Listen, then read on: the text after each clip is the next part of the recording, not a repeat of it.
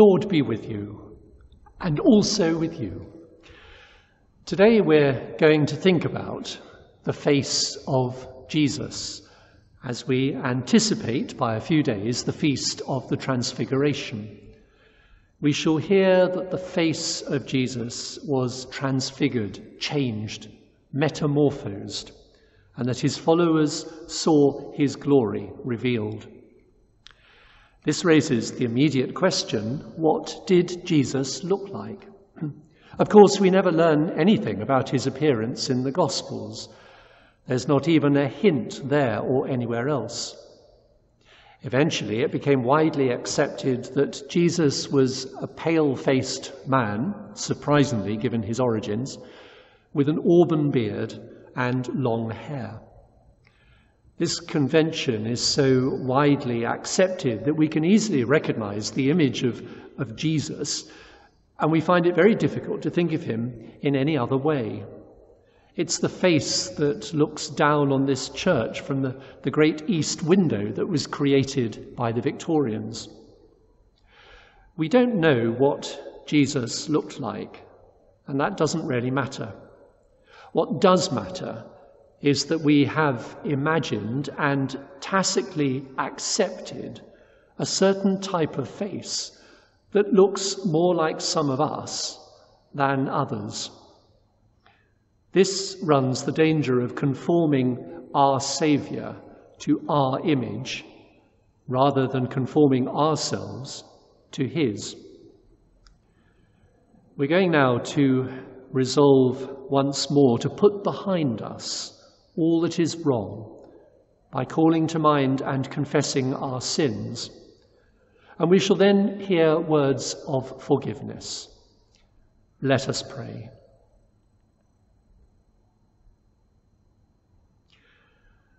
God of mercy, we acknowledge that we are all sinners.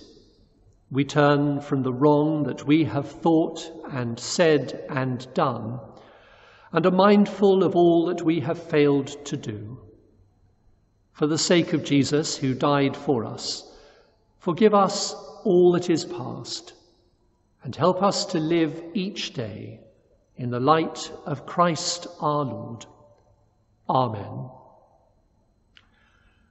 May the God of love bring us back to himself, forgive us our sins, and assure us of his eternal love in Jesus Christ our Lord. Amen. We sing our opening hymn, All for Jesus.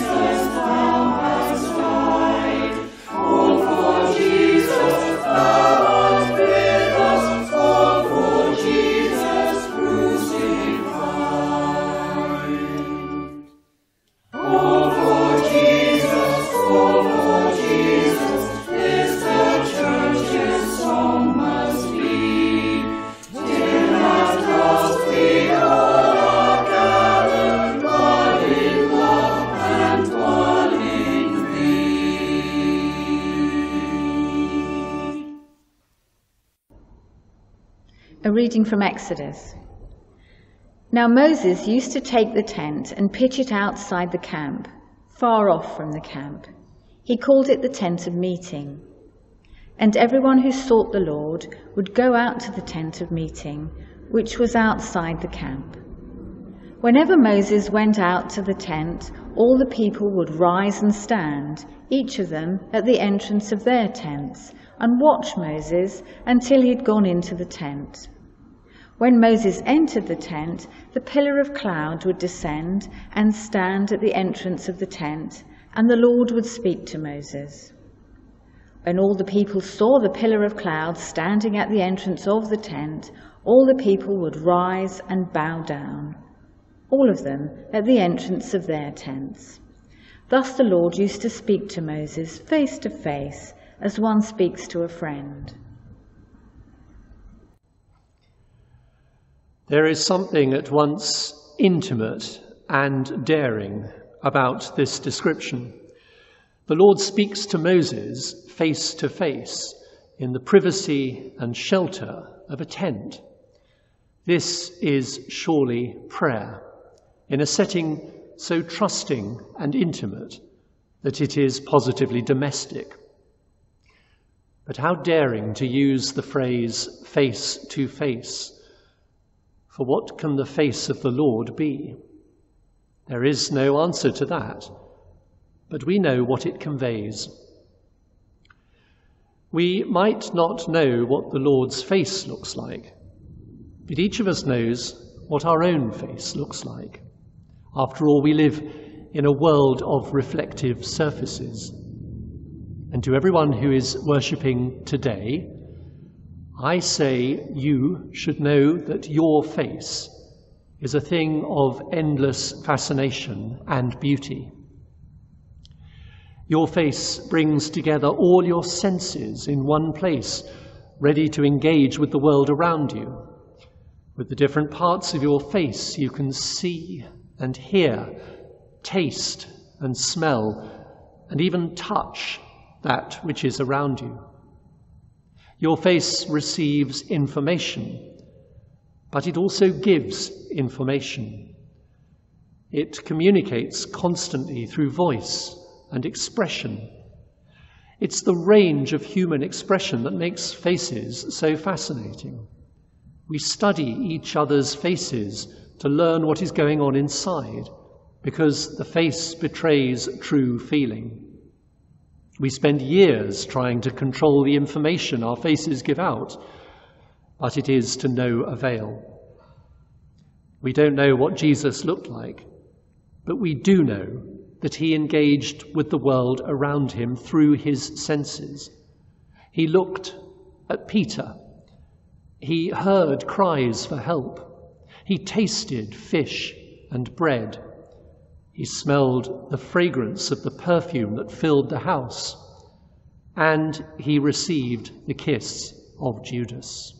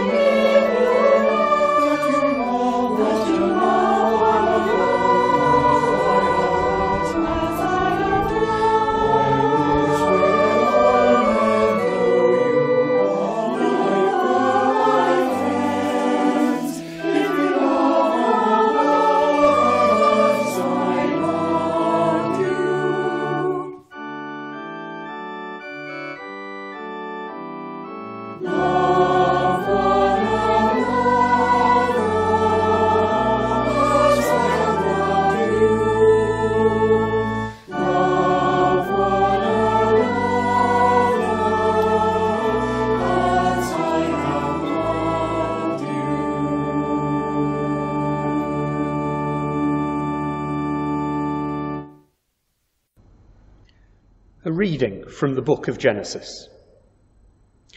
Jacob has wrestled with a mysterious man at the ford of Jabbok.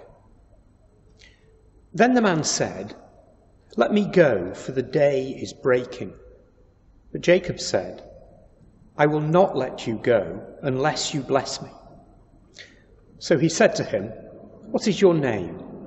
And he said, Jacob. Then the man said, you shall no longer be called Jacob, but Israel, for you have striven with God and with humans and have prevailed. Then Jacob asked him, Please tell me your name. But he said, Why is it that you ask my name? And there he blessed him.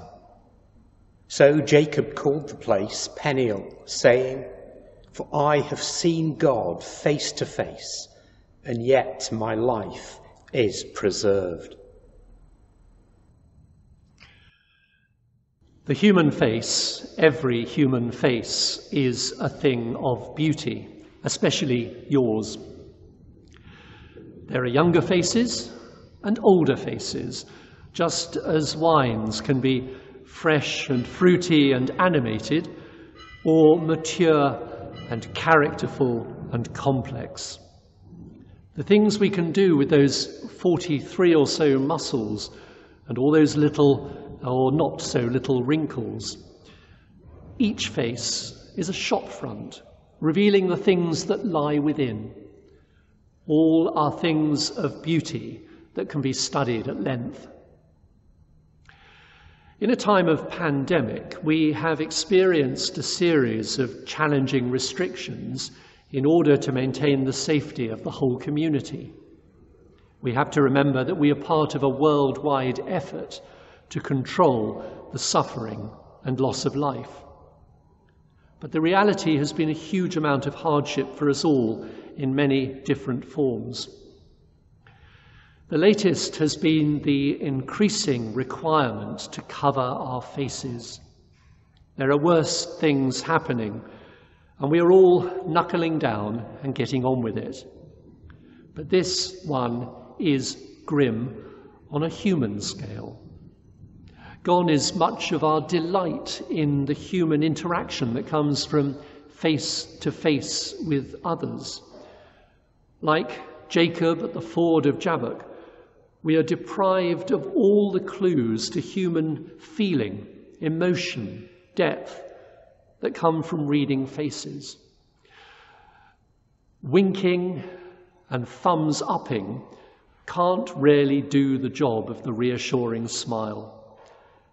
The hidden face is a real challenge for us all. Our next hymn will be led by the Alexander family.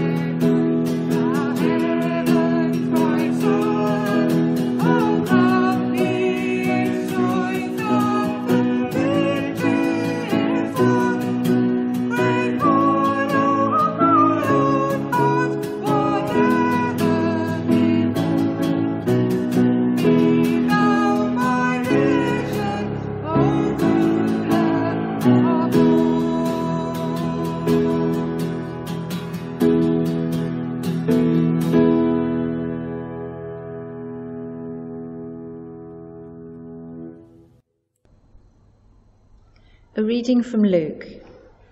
Now, about eight days after these sayings, Jesus took with him Peter and John and James and went up on the mountain to pray.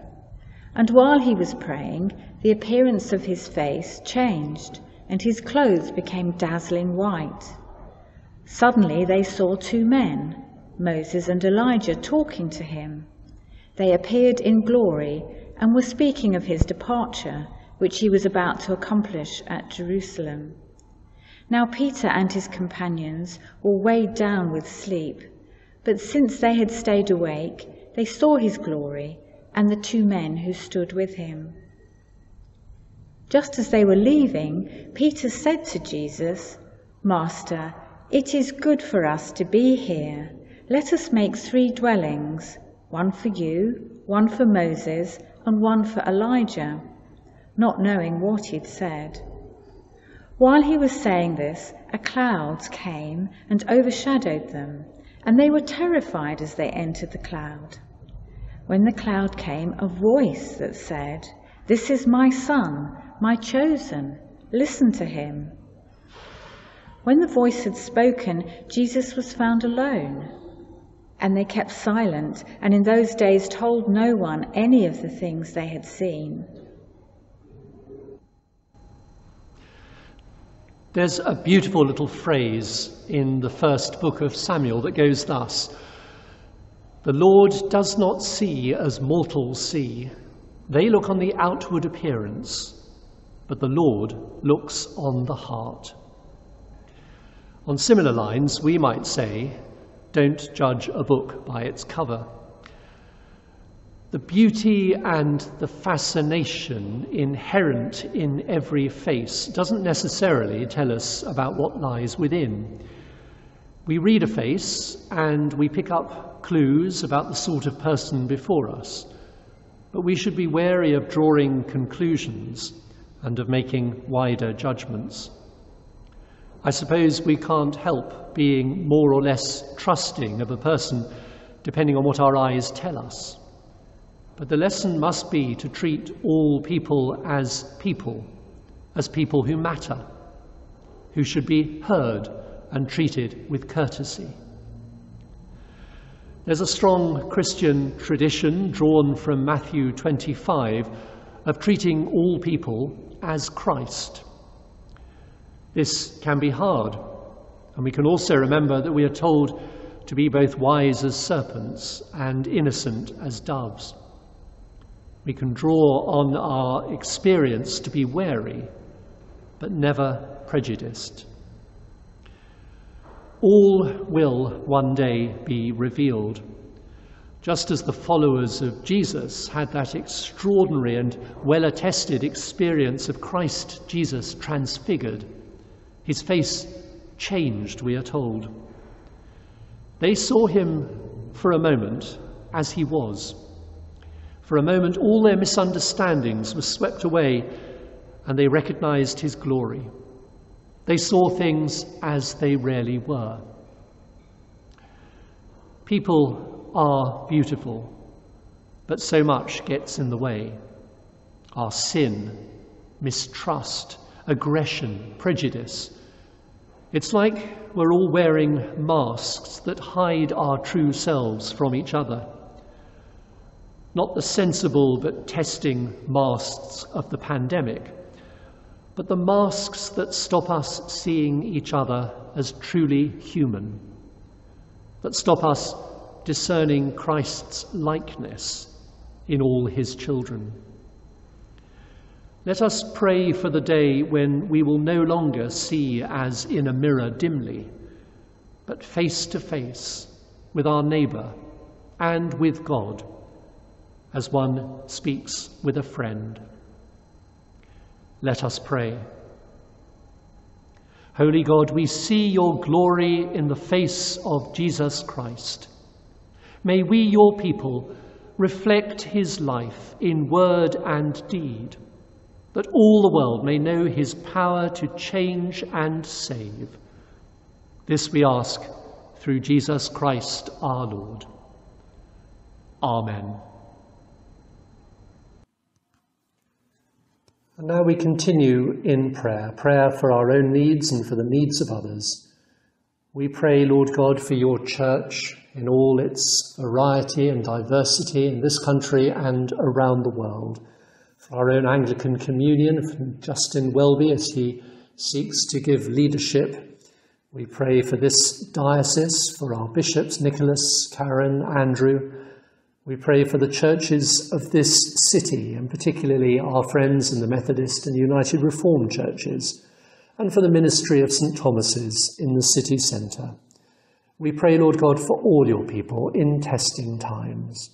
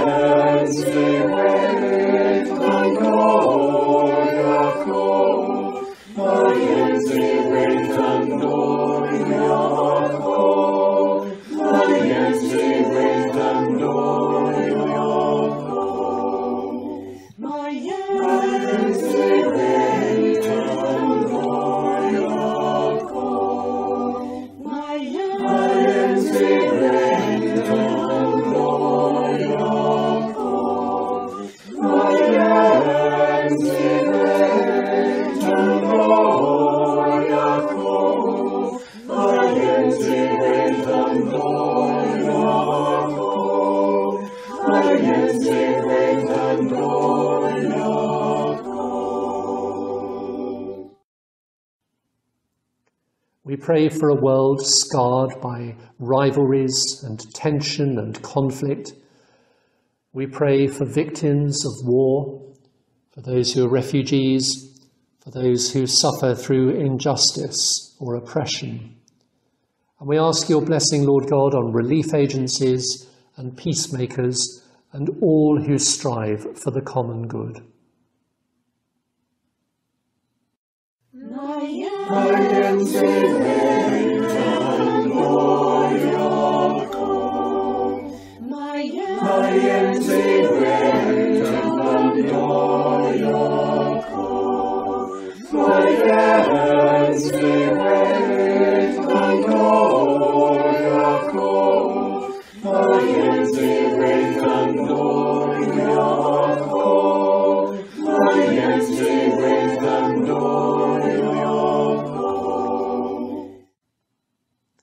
We pray, Lord God, for all who suffer in this current pandemic.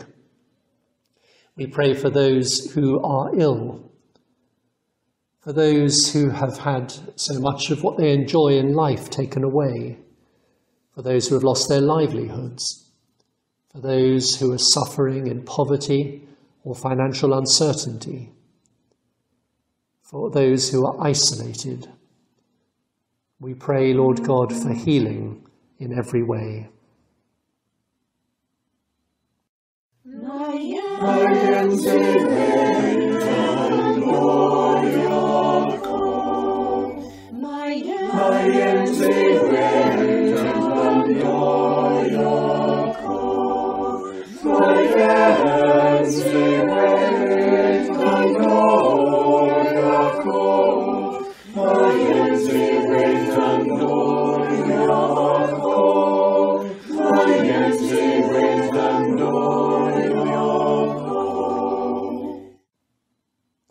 We pray, Lord God, for all who are ill, for those known to us who are in any sickness or adversity at this time.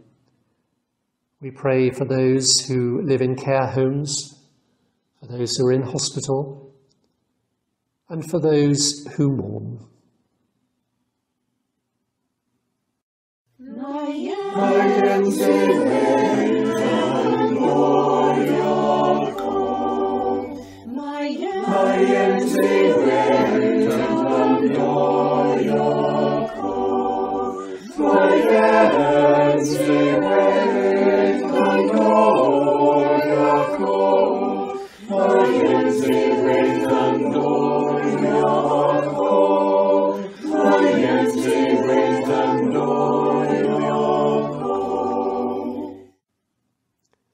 Lord of the Church, hear our prayer and make us one in heart and mind to serve you with joy forever.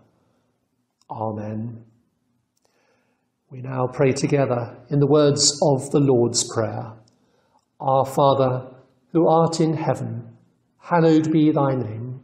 Thy kingdom come, thy will be done, on earth as it is in heaven. Give us this day our daily bread, and forgive us our trespasses, as we forgive those who trespass against us. And lead us not into temptation, but deliver us from evil. For thine is the kingdom, the power, and the glory, forever and ever. Amen.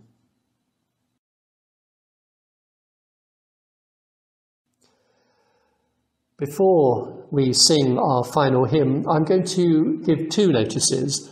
The first is to say that this afternoon Holy Communion will be celebrated in St Thomas's at four o'clock using all the preventative and safety measures that we're becoming familiar with. But uh, all are welcome to that service this afternoon.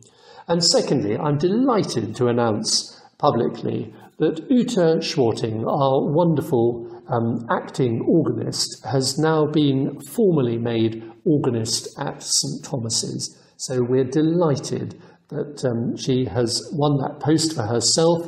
We're delighted that she will be able to use her many gifts and talents to enhance and take forward the musical offering of this church. She is a truly talented person. She's worked with amazing imagination over the last few months, and I'm very much hoping that it won't be long before she can begin to play on the uh, George III organ that lives in St Thomas's Church. So delighted to announce that Uta has won this post and we all congratulate her and give her our love and blessings.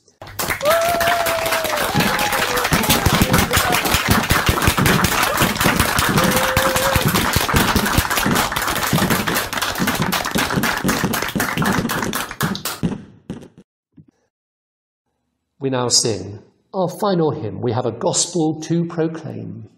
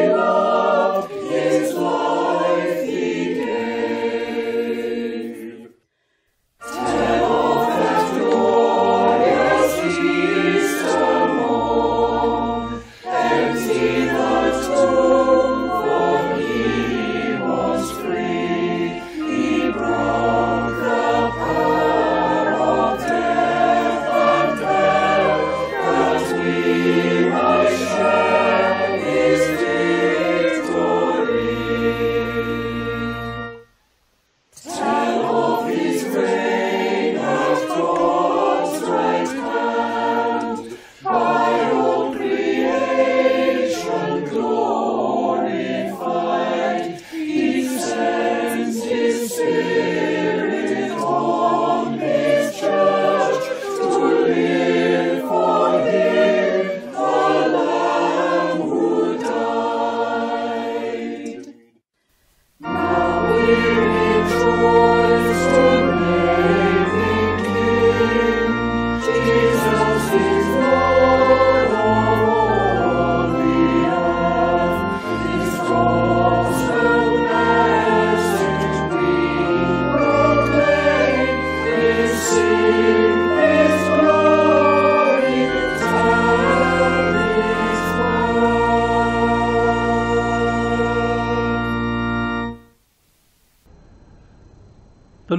Bless you and watch over you. The Lord make his face shine upon you and be gracious to you. The Lord look kindly on you and give you his peace. And the blessing of God Almighty, the Father, the Son, and the Holy Spirit be among you and remain with you always. Amen.